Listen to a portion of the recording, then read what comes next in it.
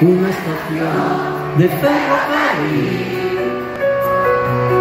Por el cristal de un viejo tren yo vi pasar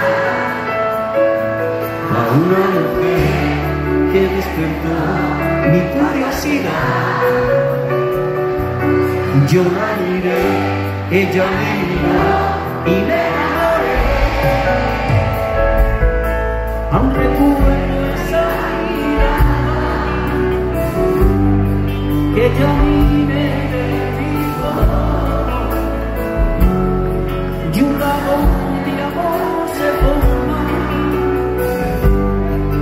micro